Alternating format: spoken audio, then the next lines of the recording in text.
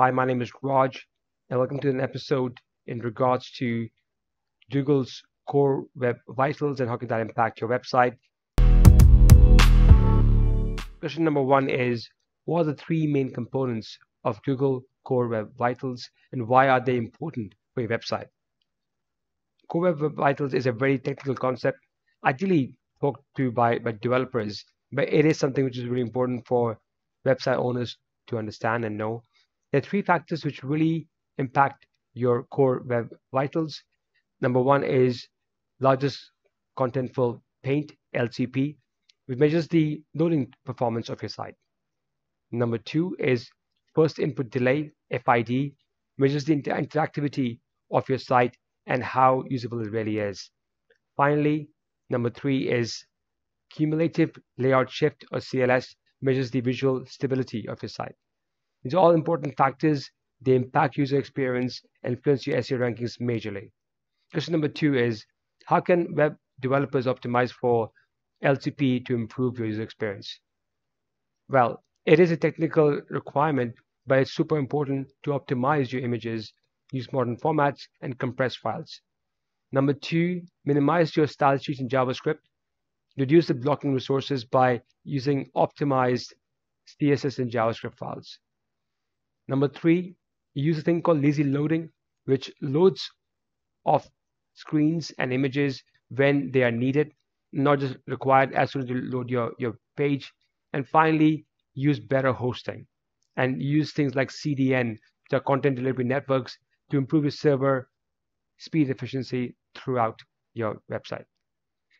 Question number three is what strategies can enhance your CLS on the website? To improve your cumulative layout shift. First of all, specify the size of attributes like images and videos. Number two, avoid inserting content above existing content. It is really annoying when you see banner ads or content coming up over existing content has already been loaded on your site. And it, it's also annoyance for users, and hence that is a, a place where you can get penalties from Google. And finally, use transform animations inside of triggering layout changes so that people are, can understand what's happening on your, on your website and it's a better usable usable experience as well. Number four, why is first input delay or FID crucial for user interaction and how can we get it minimized? Number one, it is measures the time for user interact activity and response. You know, you don't want a, a slow website ever. Uh, that is a big, big no-no for a good SEO ranking. Number two, is crucial for a smooth, responsive user experience.